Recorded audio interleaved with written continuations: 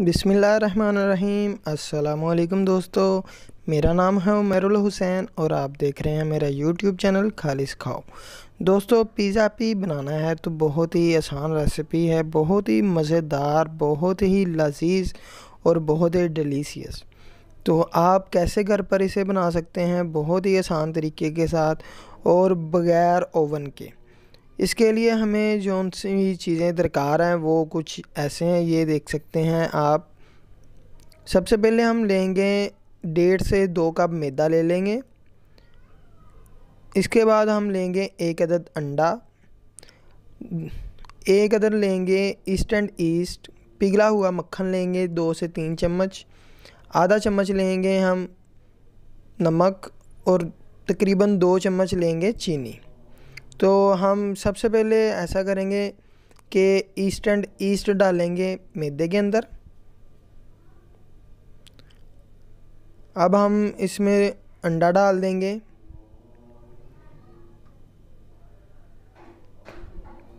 इसके बाद हम इसमें डाल देंगे पिघला हुआ मक्खन। जी तो इसके बाद हम डालेंगे इसमें नमक। अब हम इसमें डाल देंगे चीनी, दो चम्मच चीनी। अब हम इसको गूंद लेंगे नीम गर्म पानी के साथ।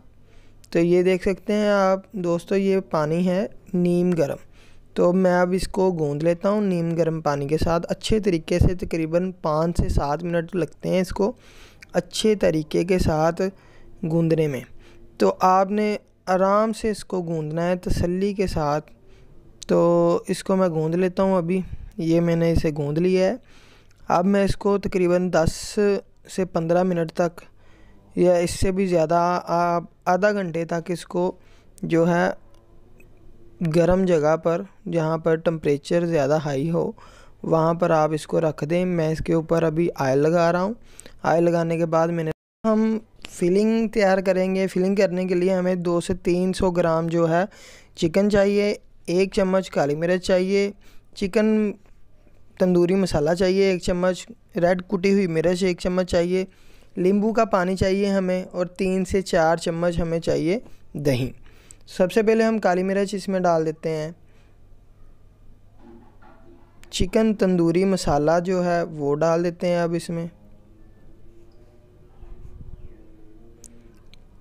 जी इसके बाद हम रेड कुटी हुई मिर्च डाल देते हैं और नींबू का पानी अब, जी नींबू का पानी, एक नींबू का पानी बहुत है। अगर आप चाहें तो दो का भी डाल सकते हैं। तो ये अब मैंने दो से तीन चम्मच तकरीबन है ये। तीन चम्मच से भी थोड़ा सा ज़्यादा ही है दही। तो ये मैंने इसको डाल डाल दिया इसमें। अब मैं इसको अच्छे तरीके के साथ मिक्स करूँगा।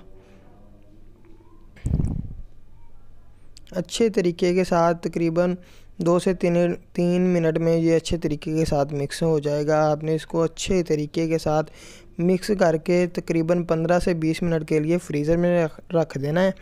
तो ये मैंने अभी इसको कर लिया है। अब मैं इसको फ्रीज़र में रख देता हूँ। इसके बाद पंद्रह मिनट के बाद मैं इसको ऑयल डालकर फिर आपको तैयार करके दिखाता हूँ। जी, मैंने अब इसको रख कर निकाल लिया है। तो अब मैं सबसे पहले थोड़ा सा आयल डालूँगा। ज़्यादा आयल नहीं डालना दोस्तों, क्योंकि चिकन ने भी अपना पानी छोड़ना है और दही है तो कोई ज़रूरत नहीं है ज़्यादा आयल डालने की। सिर्फ़ मामूली से दो से डेढ़ चम्मच जो है आयल डाल दिया। अब मैं इसमें चिकन डाल देता हूँ। चिकन डालने के बाद हम इसको तकरीबन 20 मिनट तक जो है पकाएँगे। पहले आप पाँच से सात मिनट इसको ढाँप कर पकाएँ, ताकि ये अच्छे तरीके के साथ जो है अंदर तक गल जाए, चिकन जो है कच्चा ना रहे। तो इसके बाद हम इसको देखें कि तैयार होना शुरू हो गया हमारा चिकन। तो हम इसको तकरीबन मज़ीद पाँच से सात मिनट पकाएँगे, और हमारा जो चिकन है वो रेडी हो जाएगा फिर। तो अभी ये देखें माशाल्लाह से काफ़ी प्यारी खुशबू आनी शुरू हो गई है। तो हमारा चिकन जी रेडी हो चुका है अभी। तो हमें पाँच से सात मिनट मज़ीद लगे। टोटल मिलाकर बीस मिनट तक हमने इसको पकाया। अब हम डो जो हमारी तैयार हो गई है मैदा तो अब हम उसको कवर करते हैं। सबसे पहले हम डो को पंच करके निकाल लेंगे। तो इसके हमने बनाने हैं दो पेड़े।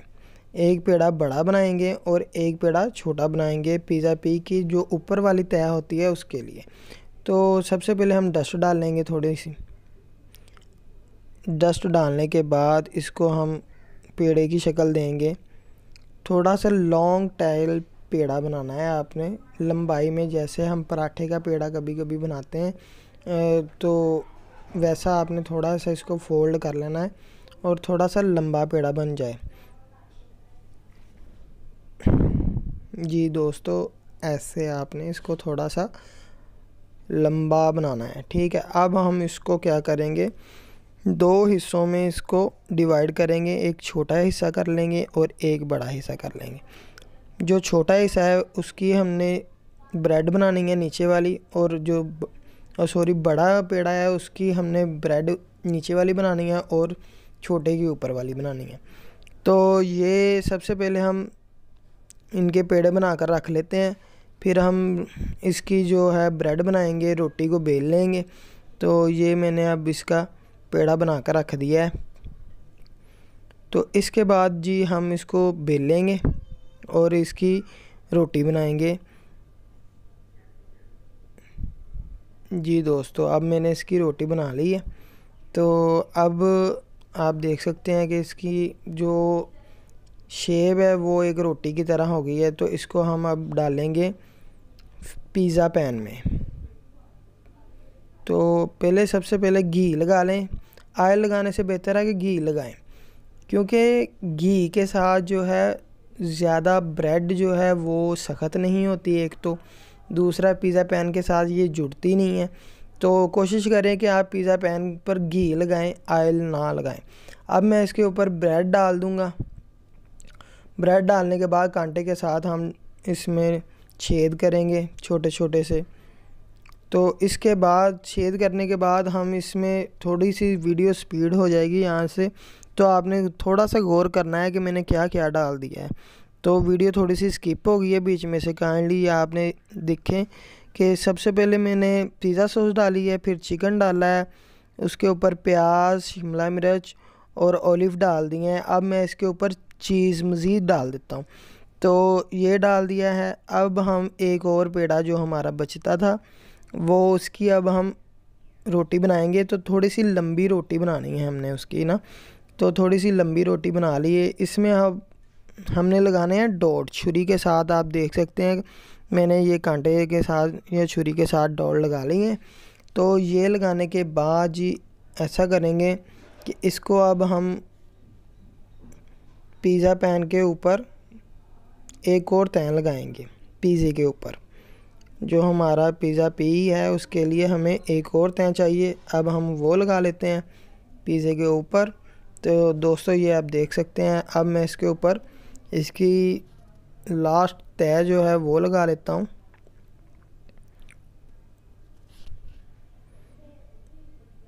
जी, ये आराम के साथ आपने इसकी दूसरी तय भी लगा देनी है। लगाने के बाद आपने इसको साइडों के साथ जोड़ देना है, अच्छे तरीके के साथ कि ये खुले ना। आप चाहें तो इसमें साइडों पर हल्का हल्का सा अंडा भी लगा सकते हैं, लेकिन उसकी ज़रूरत नहीं पड़ेगी, ऐसे ही बहुत अच्छा जुड़ जाएगा। तो ये मैंने जोड़ लिया दोस्तों, ये आप देख सकते हैं इसकी फ़ाइनल लुक तो अब मैं इसके ऊपर दूध, खुश्क दूध और दूध मिक्स करके इसके ऊपर लगाऊँगा। थोड़ा सा खुश्क दूध है और थोड़ा सा लिक्विड दूध है। तो इसके ऊपर लगाने से ऐसा होगा कि इसकी जो कलर है, इसका बहुत ही प्यारा आ जाएगा और बहुत ही इसमें कशिश पैदा हो जाएगी। तो ये लगाने का बस यही मकसद है। इसका कोई टेस्ट के साथ कोई इतना ज़्यादा मकसद लिंक नहीं है। तो आप जस्ट इसके ऊपर लगा भी सकते हैं और नहीं भी लगा सकते। इसके अलावा आप ग्लूकोज़ लेकर जो नान वाले ग्लूकोज़ यूज़ करते हैं, आप वो भी हल्का सा पानी में डालकर इसके ऊपर लगा सकते हैं। उसके साथ इसकी मज़ीद जो रंगत है, वो रेड पन में आएगी और बहुत ही प्यारा लगेगा ये। तो अब मैंने जी इसको तैयार कर लिया है। अब मैं इसको डालूँगा पतीले के अंदर। तो पतीला हमने गर्म कर लिया है पहले से। अब मैंने इसको पतीले के अंदर डाल दिया है। अब मैं इसको ढाँप कर इसके ऊपर तकरीबन पाँच छः किलो वज़न रख दूँगा और तकरीबन बारह से तेरह मिनट के अंदर ये तैयार हो जाएगा। हम मज़ीद इसको पंद्रह मिनट तक जो है वो रेडी करेंगे। तो हम पहले इसको, इसके ऊपर वज़न डाल देते हैं। ये मैंने रख दिया इसके ऊपर वज़न। तो अब मैं इसको 10 12 मिनट तक या 15 मिनट तक मैं इसको पकाता हूँ। जी दोस्तों, अब मैंने इसको तैयार कर लिया है। ये देख सकते हैं आप इसकी लुक। तो उम्मीद करता हूँ कि ये बहुत ही लजीज बना हुआ होगा और अल्लाह पाक से दुआ करता हूँ कि अल्लाह पाक हमारे हाथों में जो अल्लाह पाक ने जायके दिए हैं उन पर मज़ीद बरकतें अता फ़रमाए और अल्लाह पाक से दुआ है कि अल्लाह पाक हम सबको खुश और खैरियत से रखे। जी दोस्तों, ये आप देख सकते हैं कि मैंने बना लिया है अब पिज़्ज़ा पी तो अगर आपको वीडियो अच्छी लगी हो तो हमारे चैनल खालिश खाओ को ज़रूर सब्सक्राइब करें। और ऐसी वीडियो मज़ीद आगे देखने के लिए मुझे फ़ीडबैक ज़रूर दिया करें। अच्छा सा कमेंट्स किया करें वीडियो के नीचे ताकि मैं आपको मज़ीद ऐसी वीडियो आपके लिए लाता रहूँ। तो ये आप देख सकते हैं, बहुत ही मज़ेदार है जो है इसकी खुशबू से ही पता चल रहा है कि यार इसका जायका बहुत ही ज़बरदस्त बना है। तो ये आप देख सकते हैं, अभी काफ़ी ज़्यादा गर्म है ये। तो इसको अब मैं ट्रे के अंदर डालूँगा और अब दिखाऊँगा कि आपको कि इसका क्या जायका बना है और क्या चीज़ बनी है ये। पिज़्ज़ा पी की बहुत ही आसान रेसिपी है ये। आप भी घर पर ट्राई करें। और मज़ीद अच्छी अच्छी मालूम के लिए हमारे चैनल को ज़रूर सब्सक्राइब करें और अपना बहुत सारा ख्याल रखें। अल्लाह पाक से दुआ है कि अल्लाह पाक हम सबको इस वक्त जो मोजी बीमारी गुज़र रही है, उसमें से आसानी के साथ गुज़रने की हिम्मत अता करे। अल्लाह पाक से दुआ है, अल्लाह पाक हमारे प्यारों को हमसे जोड़े रखे। अल्लाह पाक से दुआ है कि इस रमज़ान की बरकत से हमें इस मूजी वबा से दूर रखे। अल्लाह पाक हम सब के हालात पर अपना ख़ास ख़ास रहम फरमाए। वीडियो अच्छी लगी हो तो फिर से मैं कह रहा हूँ, अर्ज़ कर रहा हूँ हमारे चैनल को ज़रूर सब्सक्राइब करें। इजाज़त दीजिए, अल्लाह हाफिज़ नासिर।